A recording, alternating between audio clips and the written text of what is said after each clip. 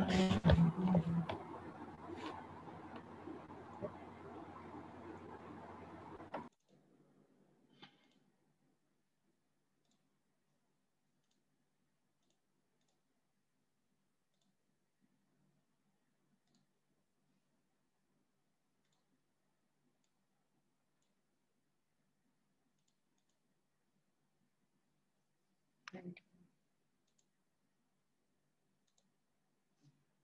Assalamu alaikum students. So we are doing cardiovascular system, you know that. We have finished with the blood vessels. Now we are going to do ischemic heart disease, okay? So ischemic heart disease, it represents a group of pathophysiologically related syndromes which results from myocardial ischemia, which is an imbalance between myocardial supply of the oxygen, that is perfusion, and cardiac demand for oxygenated blood. So is, whoever is going to ask you in the Viva question, what is IHD or ischemic heart disease, you are going to say it is a group of physiological disorders or syndromes which results from an imbalance between oxygen supply and oxygen demand. You can also say that. The demand of the uh, myocardium with the perfusion or oxygen supply.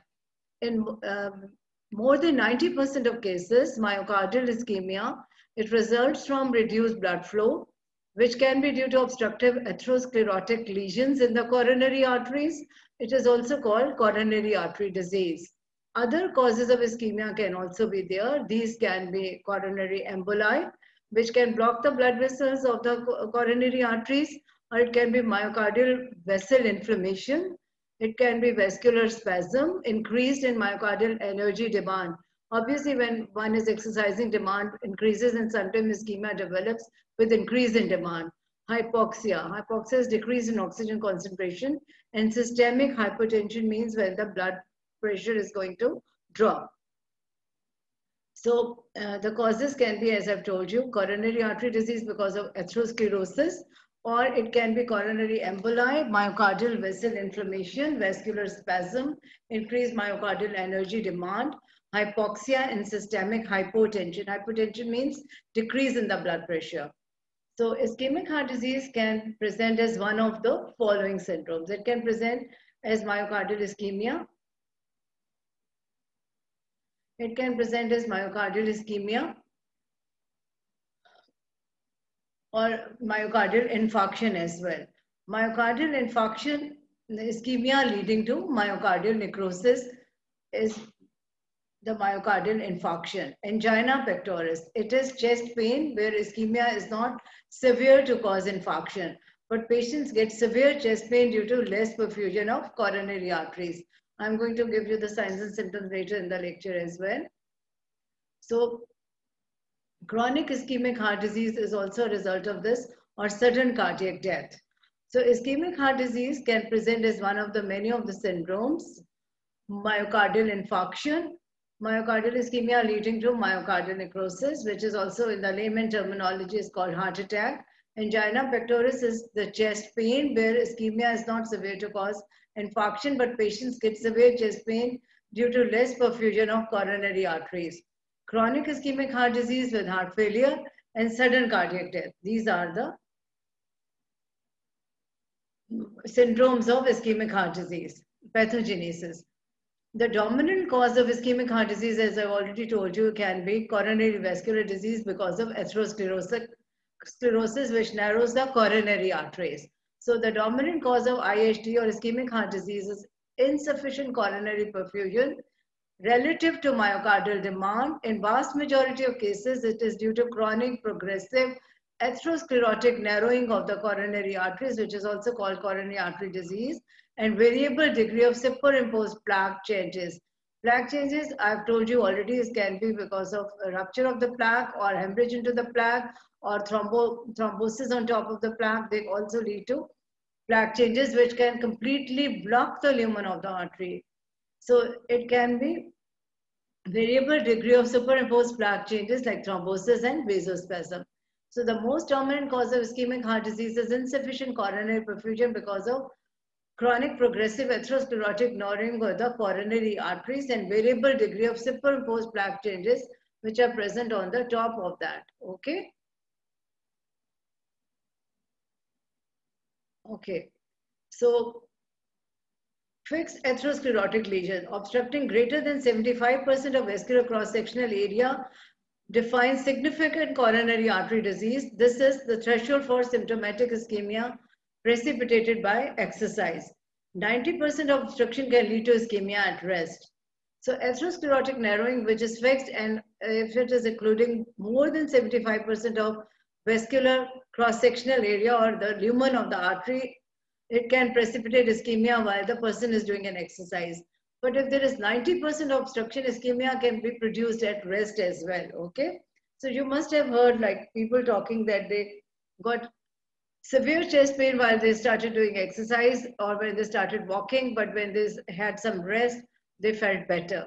But sometimes because of the obstruction is more, there is going to be ischemia at rest as well. Consequences of myocardial ischemia can uh, it can lead to stable angina, it can lead to unstable angina, it can lead to myocardial infarction as well. So we will see what is a stable angina and what is an unstable angina. In the stable angina, it results from increase in myocardial oxygen demand that outstrips the ability of stenosed coronary arteries to increase oxygen delivery, not associated plaque disruption. So in the stable angina, what is happening is there is going to be increase in the myocardial oxygen demand and that outstrips the ability of that stenotic artery to provide the same kind of oxygen as it is needed. And it is not associated with plaque disruption or changes in the plaque. So mostly this happens when there is 75% blockade and person starts doing exercises, person starts feeling chest pain and this is because of decreased oxygen supply as the demand of the myocardium is increased for the oxygen, okay? So this is stable angina, unstable angina. Unstable angina results from plaque disruption that results in thrombosis and vasoconstriction and leads to severe but transient reduction in coronary blood flow. In some cases, microinfarcts can occur distal to this disrupted plaque due to thromboemboli. So in the unstable angina, it can result from plaque disruption. Plaque is already present, but there is superimposed pathology on the plaque. Like I've said, there can be hemorrhage into the plaque, or there can be rupture in the plaque, or there can be thrombosis on the plaque. It leads to severe transient reduction in coronary blood flow, and it can lead to microinfarcts as well from those areas which are distal to the disrupted plaques due to thromboemboli. Okay. Next is the myocardial infarction. Myocardial infarction due to acute plaque changes can develop and in myocardial infarction, there is going to be ischemia precipit and precipitating cause again can be exercise or it can be changes in the plaque as well. And there is going to be necrosis of the myocardium, which is supplied by that artery, okay, which is obstructed. And sudden cardiac death can also result because of the myocardial ischemia leading to ventricular arrhythmias or ischemia myocardial necrosis is that big in size because of multiple uh, blockade that myocardium does not survive and it can lead to sudden cardiac death or sudden cardiac death can also be because of ventricular arrhythmias.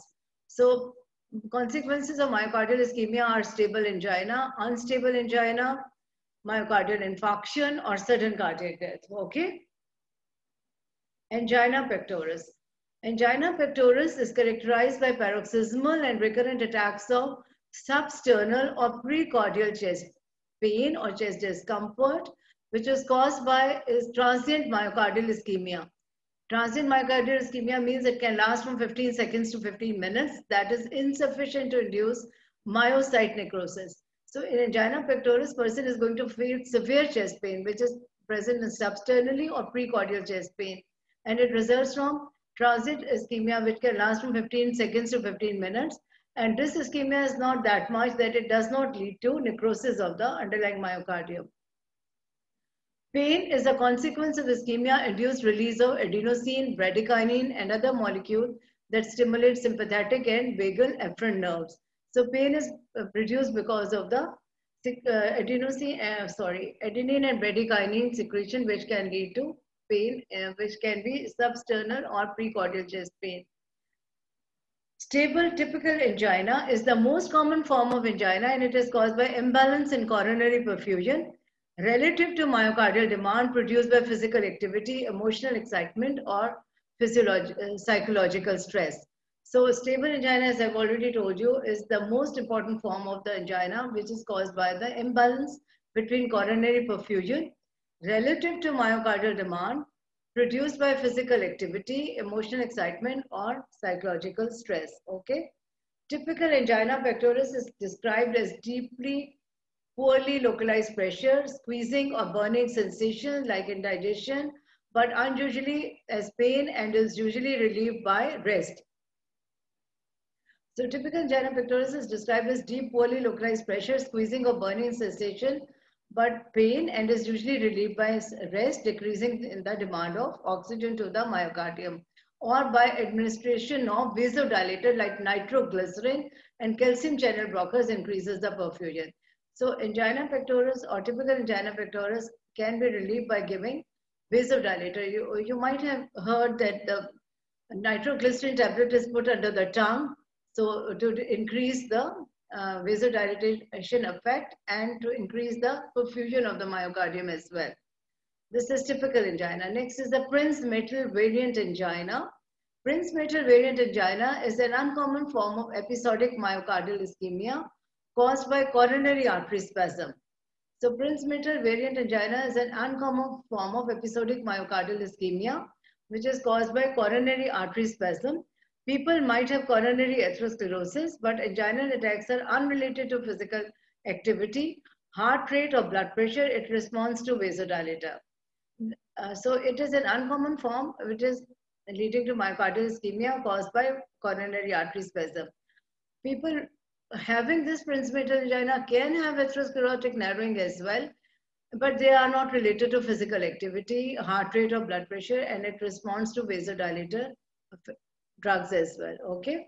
Then unstable or crescendo angina. It refers to a pattern of increasing frequent, prolonged more than 20 minutes or severe angina or chest discomfort that is described as frank pain precipitated by lower ends of physical activity or even occurring at rest. In most patients, it is caused by disruption of atherosclerotic plaque with superimposed partial thrombosis or possibly emboli which break down from the plaque and they can circulate and can lead to vasospasm or sorry, they can lead to occlusion of the blood vessel or it can be purely vasospasm as well or it can be both. In most patients, myocardial necrosis is present, okay?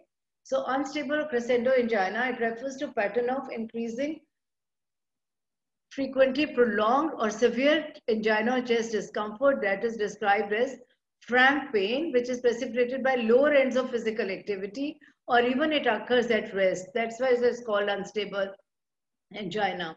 In most patients, it is caused by disruption of atherosclerotic plaque with superimposed partial thrombosis or possibly embolization or vasospasm in most patients, myocardial necrosis is present. My, next is the myocardial infarction. Myocardial infarction in the layman terminology is called heart attack as well. Myocardial infarction, commonly referred to as heart attack, is the necrosis of the myocardial muscle due to prolonged severe ischemia. Prolonged severe ischemia, all of you know, is that decrease in the blood supply to the myocardium as compared to the oxygen demand of the myocardium, okay? So myocardial infarction, uh, the other terminology, which is layman terminology, is the heart attack. Is the, it is the necrosis of the myocardial muscle due to prolonged severe ischemia. Incidence and risk factors. Incidence and risk factors can occur at any age. It can occur at any age. But 10% people are younger than 40. 45% uh, in 45% it occur in people which are younger than 65 years of age. Mostly men are affected than females but females are more protected uh, for uh, myocardial infarction during the reproductive years, but after the menopause, the male-female incidence becomes the same. Myocardial frequency rises with increasing age. It correlates with the genetic and behavioral predisposition to atherosclerosis. Okay, so incidence and risk factors can occur at any, it can occur at any age, but 10% of people it occurs younger than 40 and in 45% of people it occur between the ages they are younger than 65 years of age. Myocardial infarction frequency rises with the increasing age. It correlates with the genetic and behavioral predisposition to atherosclerosis as well. Atherosclerosis you have done in the previous lecture. You have also did these lectures while you were present in the classes. So atherosclerosis is the deposition of fat in the blood vessel in the layman terminology, but there is an atherosclerotic plaque which I described in the last lecture, okay? In the middle-aged, risk of myocardial ischemia is more in men as compared to women, but in postmenopausal women, risk increases as I've already explained you, okay? Pathogenesis. Coronary artery occlusion. Following sequence is seen, a coronary artery atheromatous plaque undergoes an acute plaque changes consisting of acute plaque hemorrhage, erosion, ulceration, or rupture or fissuring. So a plaque is present which has already narrowed the lumen of the blood vessel as I've already told you. 75% of this is blocked and if there is a superimposed acute changes like a hemorrhage occur on them or erosion of the plaque occurs or ulceration occur, rupture of the plaque or fissuring that will completely block the lumen and when exposed to subendothelial collagen and necrotic plaque contents platelet adhere, they becomes activated, release their granules and aggregate to form microthrombi. Vasospasm is stimulated by mediators from platelets. Tissue factors activate the coagulation pathway, adding bulk to the thrombus. Thrombus expands to occlude the vessel. So these are the changes which are leading to complete occlusion of the coronary artery leading to infarction. So what happens is there is already an atheromatous plaque which can undergo either hem there can be hemorrhage on top of it, there is a rupture of plaque, erosion into the plaque, fissuring can occur into the plaque as well. When this exposed to subendothelial collagen and necrotic plaque contains platelet adhere on top of them, they form thrombi. Microthrombi break from, uh, can aggregate to form microthrombi as well. And then there is an added vasospasm because of the mediators from platelets. Tissue factor activates the coagulation pathway, which add, uh, sorry, add bulk to the thrombus. This added bulk will completely occlude the vessel lumen. Okay, so these are the changes which are going to produce complete cessation of the blood supply to the myocardium leading to myocardial infarction. Coronary angiography performed within four hours of myocardial infarction onset shows coronary thrombosis in 90% of the cases. So it is uh, not a hypothesis, it is proved that 90% of patients have coronary thrombi if the coronary angiography was done within four hours of the myocardial infarction. The other causes can be, in 10% of cases, transmural myocardial infarction occurs in the absence of typical coronary atherosclerosis. Why this occurs? It can be because of vasospasm, which can be with or without atherosclerosis. Platelet aggregates or drug ingestion like cocaine and ephedrine can lead to vasospasm and can lead to infarction. Emboli. The emboli from left atrium due to atrial fibrillation, left-sided mural thrombus, vegetation of infective endocarditis, intracardiac prosthetic material, paradoxical emboli from right side of the heart, a peripheral vein traversing a patent foramen ovale into the coronary arteries, they can all lead to blockage of the coronary arteries. So emboli, emboli can come from anywhere, as I've told you. They can come from the left atrium because of the atrial fibrillation, or they can come from the left side of the mural thrombi, or they can come uh, as vegetations from the infective endocarditis. You know what is infective endocarditis, formation of vegetation on the heart valves. Because these are the huge bacteria-laden vegetations. If they break, they form emboli. Intracardiac prosthetic material can act as an emboli as well.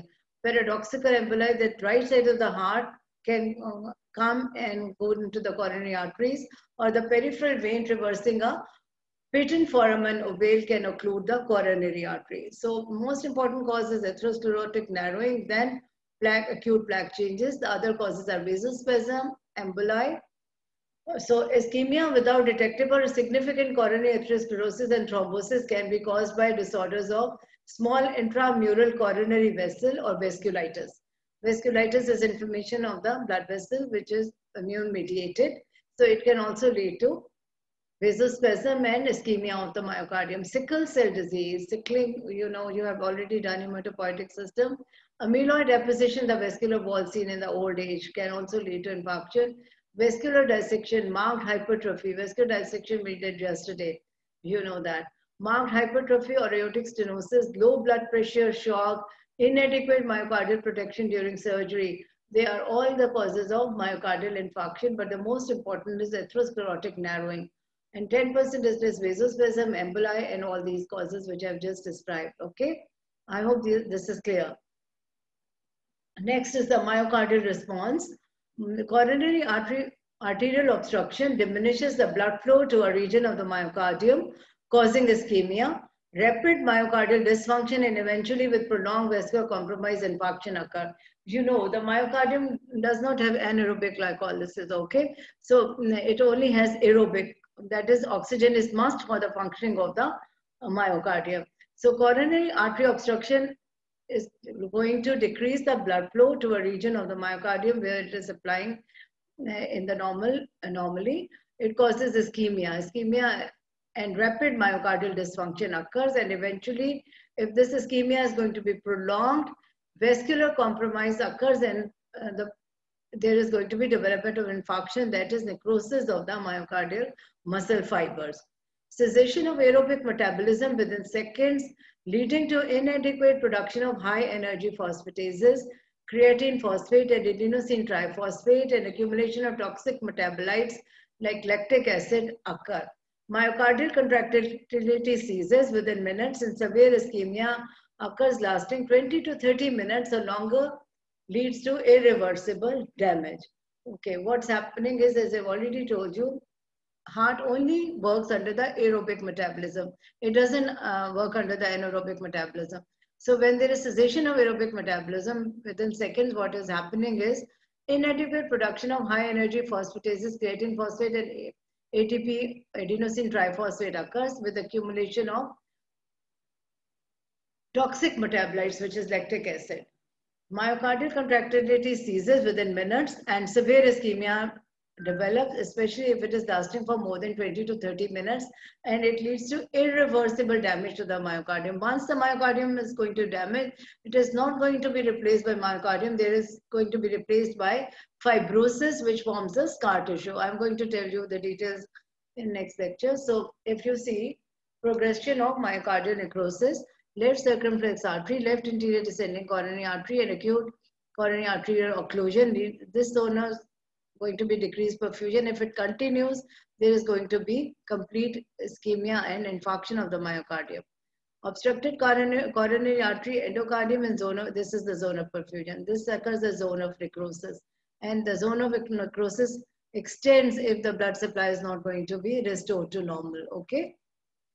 So myocardial response to injury, the precise location, size, and morphology of acute myocardial infarction depends upon number one, the location, severity, and the rate of development of coronary obstruction due to atherosclerosis and thrombosis. Number two, size of vascular bed perfused by obstructed vessel, duration of occlusion, and metabolic and oxygen needs of the myocardium, extent of collateral vessels, precise site and severity of coronary artery spasm, other factors like heart rate, cardiac rhythm, and blood oxygenation. So all the response will depend on all these factors where it is located, what is the severity and the rate of development of obstruction, okay? Size of the vascular bed is perfused or by the obstructed vessel. If it is a less uh, number in size, this myocardial ischemia and infarction will be of the smaller uh, segment. If it is a more blood supplies from that artery, it is going to be involve a larger segment of the heart duration of occlusion. If the duration is more than 20 to 30 minutes, it's definitely going to lead to infarction or necrosis of the myocardial fibers and the metabolic and oxygen needs of that myocardium. Extent of collateral circulation means sometimes with the chronic ischemic heart disease, there are certain collaterals which develops in the heart muscle and they supply that area if the uh, that main artery is blocked, but from the collaterals, the heart keeps on getting the oxygen supply, so the severity of the infarction will be less precise site and severity of coronary arterial spasm, and other factors like heart rate, cardiac rhythm, and blood oxygenation. They are all responsible factors which can lead to, uh, depends, the, sorry, myocardial morphology is going to depend on the these factors in case of myocardial infarction. So what is transmural infarction? Myocardial infarction, which is caused by occlusion of a coronary vessels, are typically transmural, means full thickness of the ventricular wall is going to be involved. Necrosis involves a full thickness of ventricular wall in the distribution of the affected coronary artery. This pattern is associated with coronary uh, atherosclerosis, acute plaque changes, and superimposed thrombosis. Okay, so transmural infarction means whole of the myocardium is going to suffer from necrosis. And this pattern is mostly seen in cases of coronary atherosclerosis acute, acute plaque changes with superimposed thrombosis. Subendocardial infarction. Subendocardium is the least perfused area of the zone of the myocardium. This is most vulnerable to any reduction in coronary flow. Subendocardial infarct involved inner third of the ventricular wall. They can occur as a result of plaque disruption followed by thrombosis, which gets lysed before full thickness infarction and can also occur in systemic hypertension or shock. Okay. So in the case of subendocardial infarction, inner third of the ventricular wall is going to have infarction or going to have necrosis. It can occur as a result of plaque disruption followed by thrombosis, which gets lysed before full thickness infarction is going to be produced. It can also occur in systemic hypotension and shock. You have done shock in your third year and you know when the blood pressure falls, obviously the coronary perfusion and perfusion and other vital organs of the body is also going to decrease, okay? So transmural infarct means whole thickness of the myocardium is necrosed. Subendocardial infarction means inner third of the ventricular wall is going to have necrosis. So if you see this, this is transient partial obstruction lesion, subendocardial infarct. This is global hypertension circumferential. All of the circumference is going to be have uh, infarction. And these are small infarction or micro infarctions okay? Intramural vessels or occlusion of micro infarcts can be seen here okay? So permanent occlusion of left anterior descending artery. This is the transmural infarction. This is again transmural infarction because of the permanent occlusion of left circumflex branch. And this is permanent occlusion of right coronary artery which is going to lead to complete transmural infarction okay these are transmural infarcts and these are non-transmural infarcts. Okay, patterns of infarction. patterns of infarctions can be multifocal microinfarcts.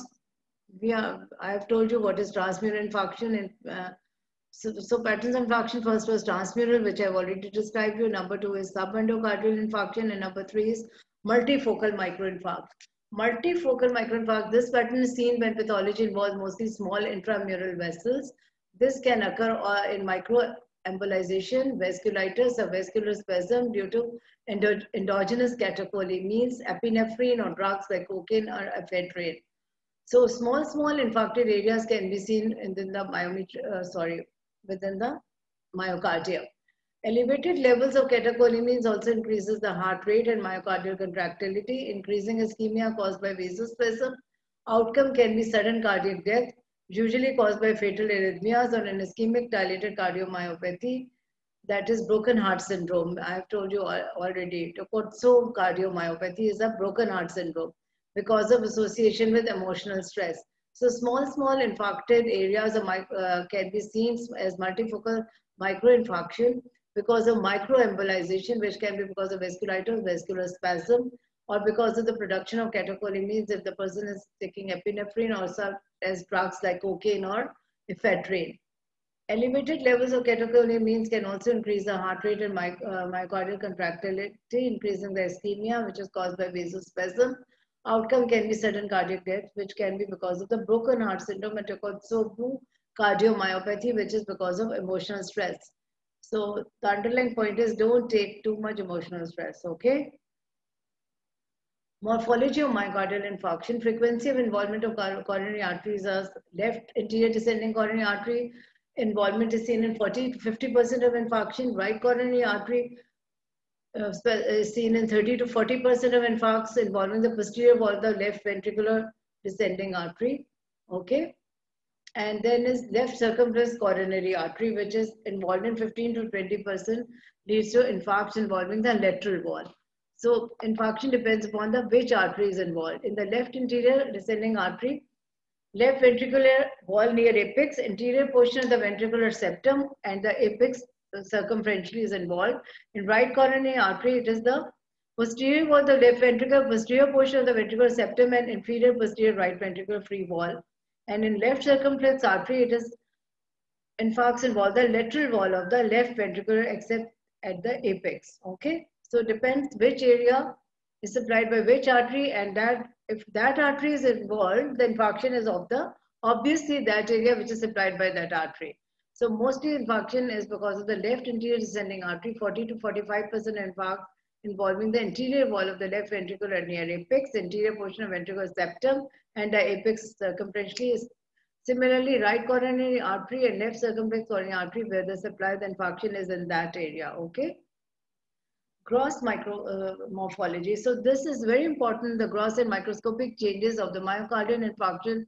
They're very important from your SEQ's point of view, MCQ's point of view, as well as your OSPE and Viva voice point of view as well. So myocardial infarction and atherosclerosis, you have to know these can be also be your Viva question as well. In the gross morphology, we do by RNR. If within two to three hours,